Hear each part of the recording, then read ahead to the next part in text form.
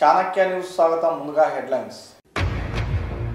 ఈ నెల తొమ్మిదిన ఆశాపపై జరిగిన దాడి ఘటనలో ప్రధాన నిందితులను రిమాండ్కు తరలింపు మారణాయుధాల స్వాధీనం ఎస్పీ రమా రాజేశ్వరి. మీ చుట్టుపక్కల వారు ఎవరైనా అనుమానంగా ఉన్న వ్యక్తులు కనబడితే వందకు డయల్ చేయండి. డిఎస్పీ భాస్కర్. మహబూబ్ నగర్ పట్టణంలోని వెంకటేశ్వర కాలనీ సమీపంలో శ్రీ హైగ్రీవ స్వామి ఆలయంలో ధనుర్మాసం సందర్భంగా గోదాదేవి కళ్యాణం నిర్వహించారు. ఈ సందర్భంగా ఆలయ అర్చకులు గోపాలకృష్ణ మాట్లాడుతూ ప్రతి సంవత్సరం లాగానే ఈ ధనుర్మాసంలో గోదాదేవి నిత్య కళ్యాణం జరుపుకుంటామని ఆయన తెలిపారు. ఉదయం ఏడు గంటల నుండి తిరువై పారాయణం జరుగుతుందని భక్తులు అధిక సంఖ్యలో వచ్చి స్వామివారిని దర్శించుకున్నారని ఆయన తెలిపారు.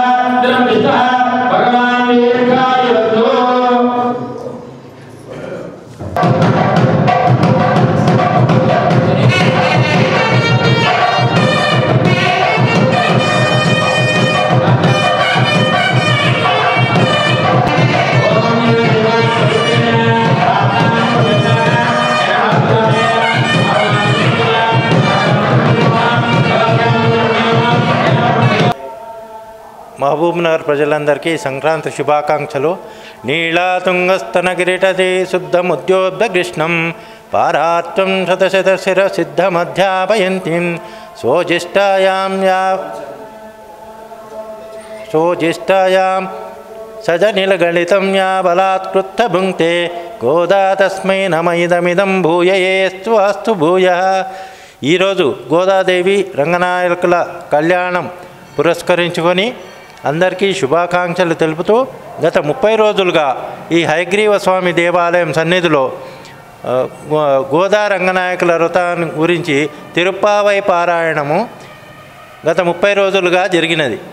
ఉదయం ఆరు గంటల నుంచి ఏడు గంటల వరకు పారాయణం చేస్తూ రోజు ఒక పాశురం ద్వారా హారతి ఇస్తూ దాని తాత్పర్యము అర్థాలు ప్రజలకు అందరికీ తెలియజేస్తూ ఈరోజు శుభ సందర్భాన ఈ కళ్యాణము గోదా రంగనాయకుల కళ్యాణం జరగడము నిర్ణయించినారు భక్తులు మా ఆచార్యులు.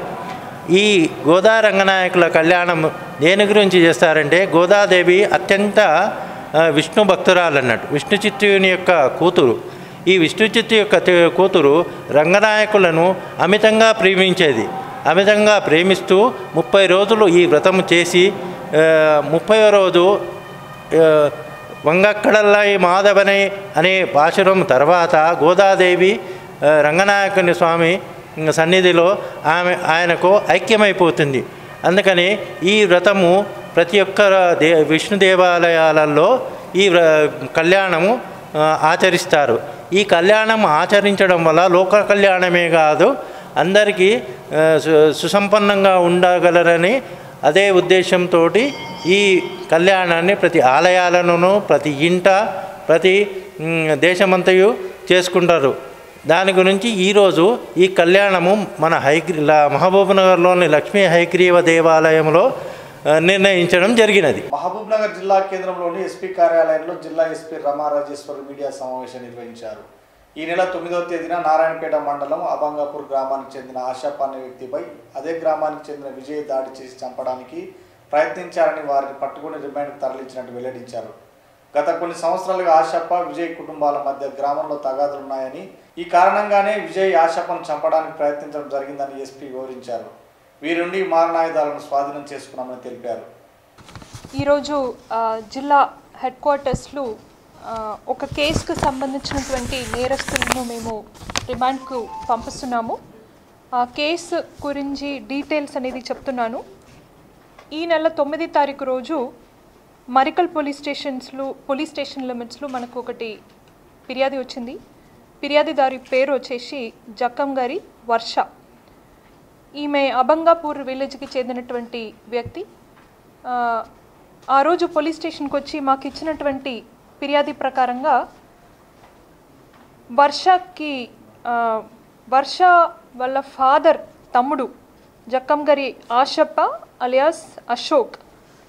అదే ఊరికి చెందినటువంటి వ్యక్తి హైదరాబాద్లో ఉంటాడు మోస్ట్లీ.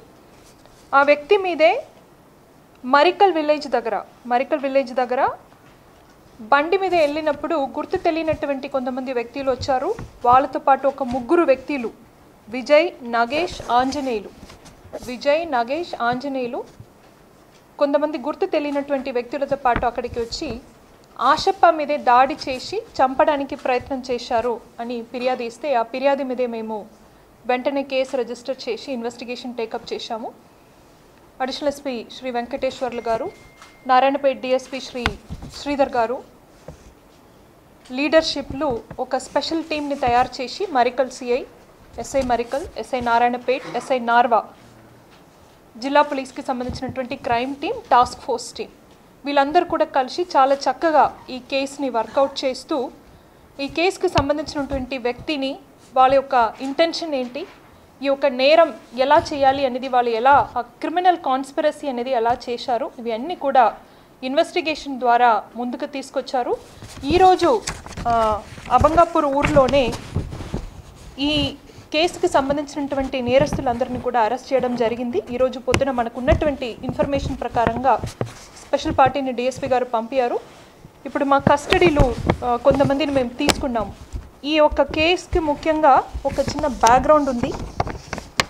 అబంగాపూర్ విలేజ్లో గత కొన్ని సంవత్సరం నుంచే ఈ కేసులో ఉన్నటువంటి ఇంజోర్డ్ విక్టిమ్ ఎవరైతే ఉన్నారో ఆశప్ప ఈ ఆశప్ప అనే వ్యక్తి మరియు విజయ్ వీళ్ళిద్దరి మధ్యలో కూడా పాత పకలు ఉన్నాయి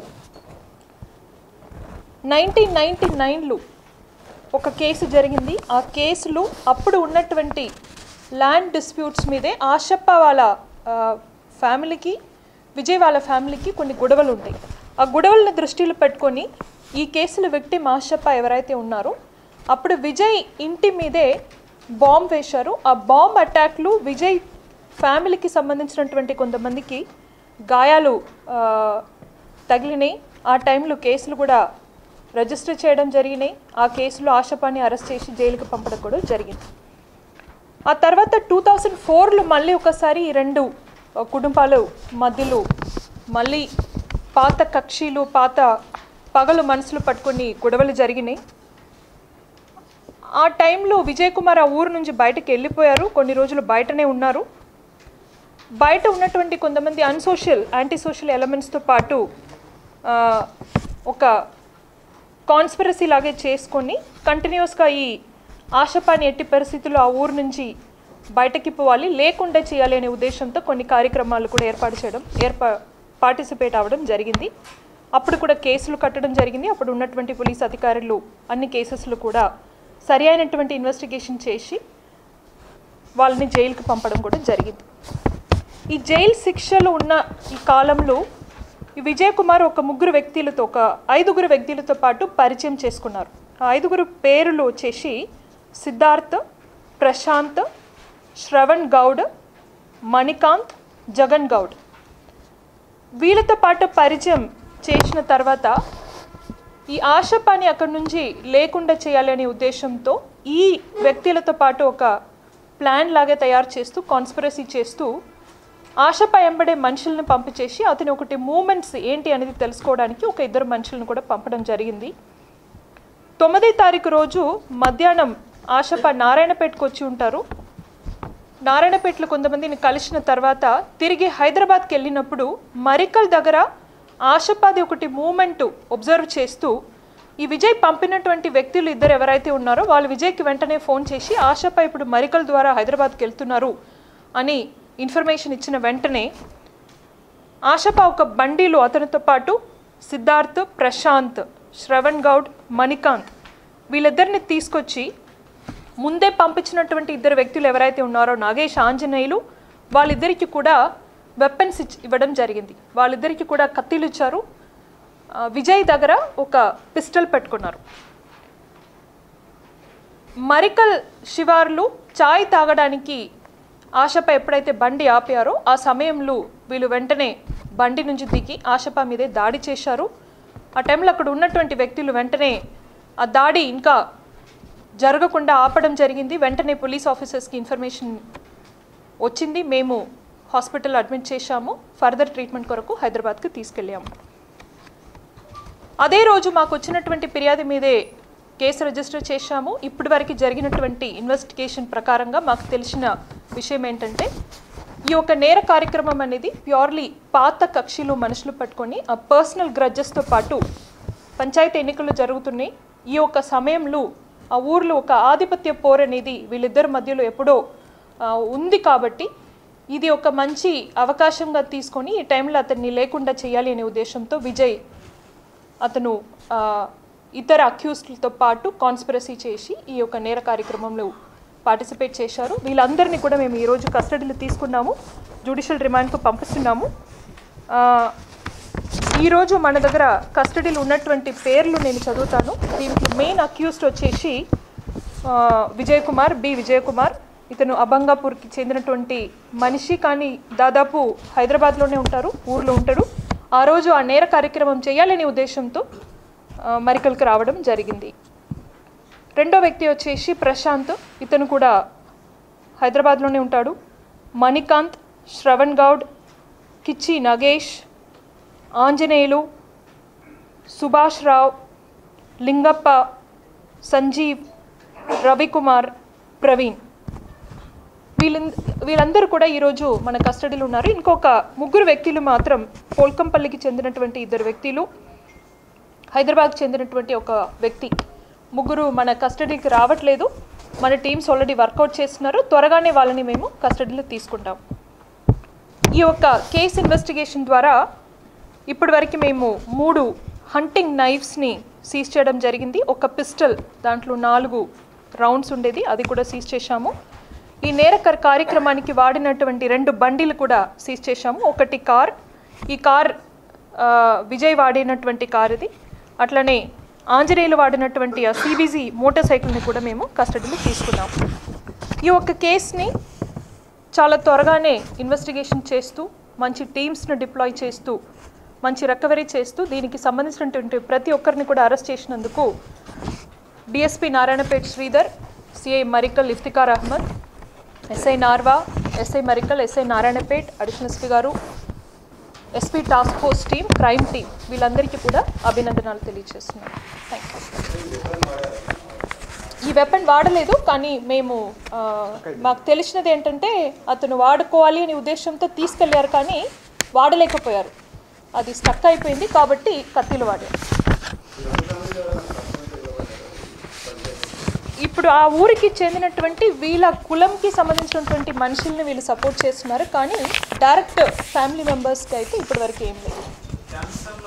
సంక్రాంతి పండుగ సందర్భంగా పట్టణ ప్రజలు తమ సొంత గ్రామాలకు వెళ్ళేటప్పుడు తమ ఇంటికి తాళాలు వేసి జాగ్రత్త వహించి వెళ్ళాలని పట్టణ టౌన్ డిఎస్పీ భాస్కర్ తెలిపారు. ఈ సందర్భంగా ఆయన మీడియాతో మాట్లాడుతూ సంక్రాంతి పండుగకు తమ సొంత గ్రామాలకు వెళ్ళేవారు విలువైన వస్తువులు ఆభరణాలు డబ్బు బ్యాంకులు లాకర్లు అమర్చి వెళ్ళాలని అప్పుడు పక్కింటి వారికి తప్పకుండా సమాచారం ఇవ్వాలని టౌన్ డిఎస్పీ తెలిపారు. మీ ఇంటి చుట్టుపక్కల ఎవరైనా అనుమానం ఉన్న వ్యక్తులు కనబడితే వెంటనే డయల్ హండ్రెడ్ ఫోన్ చేసి సమాచారం ఇవ్వాలని ఆయన తెలిపారు. పోలీస్ సబ్ డివిజన్ పరిధిలోని ప్రజలకు సంక్రాంతి మరియు భోగి శుభాకాంక్షలు తెలియజేస్తున్నాను. ఈ సంక్రాంతి పండుగ సందర్భంగా గ్రామాలకు వెళ్తున్న ప్రజలు తమ ఇళ్ళకు ఇళ్ళలో ఎలాంటి విలువైన వస్తువులు కానీ ఆభరణాలు కానీ డబ్బులను కానీ ఉంచకుండా బ్యాంకులో లాకర్లలో కానీ లేకపోతే వారు వెళ్ళేటప్పుడు వారు వాళ్ళ వెంట తీసుకొని వెళ్ళాల్సిందిగా విజ్ఞప్తి చేస్తూ ఉన్నాం. అలాగే లాక్ వేసి వెళ్ళేటప్పుడు అది లాక్ వేసిన ఇల్లుని ఈజీగా బయట నుంచి బయట వ్యక్తులకు తెలియకుండా తగు జాగ్రత్త తీసుకోవాల్సిందిగా విజ్ఞప్తి చేస్తూ ఉన్నాం. అలాగే పక్క ఇంటి వారికి సమాచారము నియరెస్ట్ పోలీస్ స్టేషన్ వారికి సమాచారం ఇస్తే మేము ఆ కన్సర్న్ ఏరియాలో పెట్రోలింగ్ మరియు బీట్స్ను పంపించి నేరాలు జరగకుండా రాత్రిపూట కానీ పగటిపూట కానీ దొంగతనం జరగకుండా నివారించటకు తోడ్పడుతుంది. అలాగే ఎవరైనా అనుమానస్తుల వ్యక్తులు సంచరిస్తున్నట్టు కొత్త వ్యక్తులు తమ ప్రాంతాల్లో తిరుగుతున్నట్టుగా తెలిస్తే ఇమీడియట్గా హండ్రెడ్ నెంబర్కి కానీ లేకపోతే కన్సర్న్ పోలీస్ స్టేషన్ సేలకు మా నెంబర్లకు చేస్తే ఇమీడియట్లీ వాళ్ళని అనుమానితని అదుపులో తీసుకుని ప్రశ్నిస్తే ఫర్దర్ నేరాలు జరగకుండా కాపాడతాయి కాబట్టి ప్రజలందరూ మాకు సహకరించి సమాచారాన్ని ఇవ్వాల్సిందిగా తగిన జాగ్రత్తలు తీసుకోవాల్సిందిగా విజ్ఞప్తి చేస్తాను హెడ్లైన్స్ మరోసారి. ఈ నెల తొమ్మిదిన ఆశాపపై జరిగిన దాడి ఘటనలో ప్రధాన నిందితులను రిమాండ్కు తరలింపు మారణాయుధాలు స్వాధీనం ఎస్పీ రమా రాజేశ్వరి. మీ చుట్టుపక్కల వారు ఎవరైనా అనుమానంగా ఉన్న వ్యక్తులు కనబడితే వందకు డయల్ చేయండి. డిఎస్పి భాస్కర్. ఇవి ఇవాళ అప్డేట్స్ మరిన్ని అప్డేట్స్ కోసం చూస్తూనే ఉండండి చాణక్య న్యూస్. ప్రతి దృశ్యం ప్రజల కోసం. ఈ బులెటిన్ మీరు తిరిగి చూడాలనుకుంటే యూట్యూబ్లో చాణక్య న్యూస్ స్పేస్ తెలుగు అని టైప్ చేసి వీక్షించి సబ్స్క్రైబ్ చేయండి. నమస్తే.